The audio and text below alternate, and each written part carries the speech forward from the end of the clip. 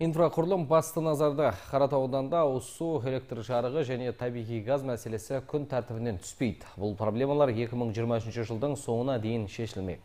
Осылай деген аудан басшысы Рахымберді Мүлкеманов арнайы брифинг өткізіп өткен жылдың есебін берді. Аудан әкімі 2021 жылдың есебін баяндай келіп, 2022 жылдың төрт айында атқарылған жұмыстардың орындалуы барысына тоқталып өтті.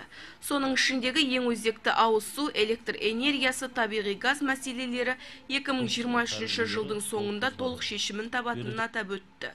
Шымкент қаласының 21-22 жылдарға даму бағдарламасы әзірленген.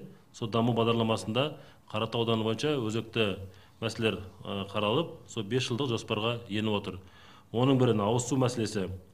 Бізде жеті елді мекенде су тартылу мәселесі қаралған. Оның 21 жылы төрт елді мекенде іске қосылды. Сонымен қатар 22-23 жылдары қайнарбұлақ асар екі сайрам аумағында құрылыстары жүргізілетін болады.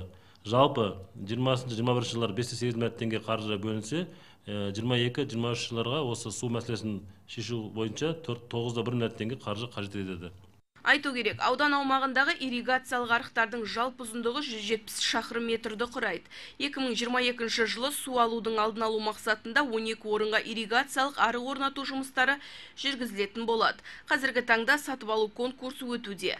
Жалпы 554 көп қабатты үй 192 аулаға біріктірілген, оның ішінде 164 аула абаттандырылған. Қалған 28 ауланы абаттандыру 2023 жылдың жоспарында бар аудандағы қатты тұрмыстық қалдықтар шығару бойынша жалпы тоқсан үш алаңша бізде орналасқан. Қоқыс ящиктердің саны екі жүз жетпіс бес. Бүгінгі таңда үш жүз қырық қосымша қоқыс ящигін алу бойынша конкурс ұйымдастырылған.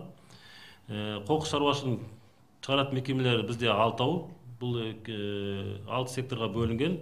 Атап өткенде экоспец транс шымкент спец комплекс жауапкершілігі шектеулі чистый город жауапкершілігі шектеулі сонымен қатар жанн мейр жауапкершілігі шектеулі серіктестігі экоспец транс и весалидзе жеке кәсіпкер.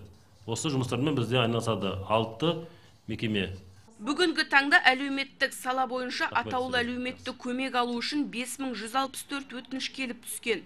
Оның 4394-і мұқтаж деп танылса, 164 азаматтың мұқтаж еместігі анықталды, ал 605 отбасының құжаттары комиссия қарауында. Айдана Қуанышқызы Нұркен Жалпиев, Лола Розметова жаңалықтар.